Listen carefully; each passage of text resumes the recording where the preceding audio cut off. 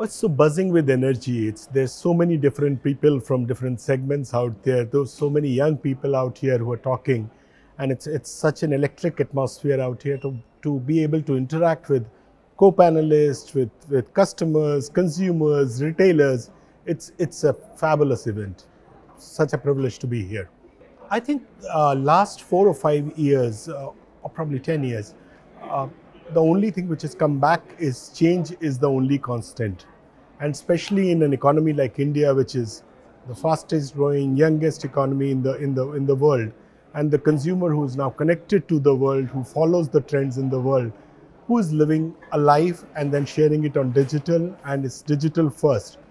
It's it's evolving into into such a big change that it is for organizations like us it's it's it's the biggest challenge to be able to reach out to them understand what what they are changing and how this change is going to impact their preferences and create a portfolio and an organization to be able to serve their their demands and their tastes in the future and then work backwards to create that portfolio and organization to be able to serve that.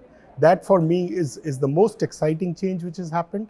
And and it's it's such a privilege to be able to serve the young consumers uh, in a, in a in a country like India, and uh, the the overarching layer of premiumization where the Indian consumer is wanting to uh, have experiences which are which are state of the art, which are the best in the world, is is is an absolute delight.